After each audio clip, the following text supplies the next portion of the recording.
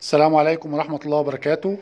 آه، أهلا بيكم. إحنا معانا النهاردة المنظومة اتش تي 300 للزراعة المائية الهرمية.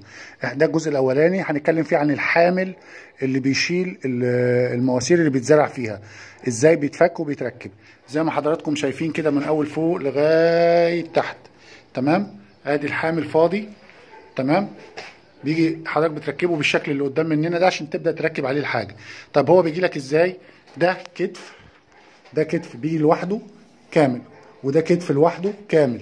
أربع أكتاف بيجوا كاملين مع بعضيهم. كل كتف منفصل عن التاني. تمام؟ وبعد كده الجزء اللي مربوط هنا ده ده ده كامل بيجي مع بعضه. تمام؟ الجزء اللي تحت. تمام؟ زي ما أنتم شايفين كده الجزء ده كده بيجي كامل مع بعضه لغاية الآخر. والماسورة دي بتتشال منه. حضرتك ما عليك إن أنت بتركب بتركب الجزء ده هنا وتركب الجزء ده هنا نفس القصة الناحية التانية أهو. هتركب ده هنا وتركب ده هنا وبعد كده توصل ما بينهم الماسورة دي اللي هي الواصله في النص ما بينهم عشان تديها العصب في النص. اللي فوق زي ما أنتم شايفين دي بتيجي كاملة مع بعضيها. الجزء ده جاي كامل مع بعضه. كامل كله مع بعضه ملزوق. ما عليك اللي انت بتدخله هنا وبتدخله هنا. تمام؟ ونفس القصة بتدخل هنا وبتدخل هنا. تبقى انت كده ركبت الحامل. أما كل الأشكال اللي أنت شايفها دي حضرتك مش بتركبها.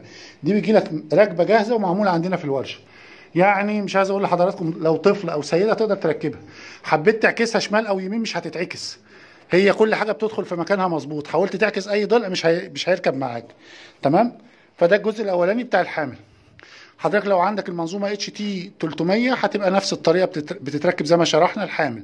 لو عندك أي منظومة HT برضو سواء أصغر أو أكبر نفس الحامل نفس الفكرة بيتركب بنفس الطريقة.